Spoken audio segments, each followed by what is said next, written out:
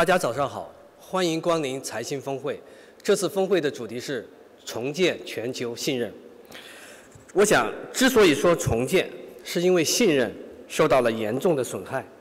而重建信任这件事情呢，它既比想象的容易，又比想象的困难。说它比想象的容易，是因为信任，它主要的或者说首先的，它不是一种情绪。如果说它是一种情绪的话，这事儿就不好办了。情绪这种东西，它是有就有，没有就没有。信任甚至不用主要依靠善意，或者说，如果说信任依靠善意的话，它首先不是对于对方的善意，而是对于自己的善意。因为对自己好的，因为对自己好的道路，绝大多数都要通向对方。信任归根到底来自于对自己长期利益的理性判断。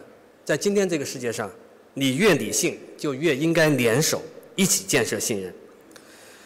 回过头来说，说重建信任比想象的难，是因为毁掉信任实在太容易。毁掉信任，你只要会玩零和游戏就可以。零和游戏当中，你的所得就是我的所失。这是唯一正确的玩法，是你说什么我都不信。正如我说什么你都不信，双方完全不协调，也不能协调。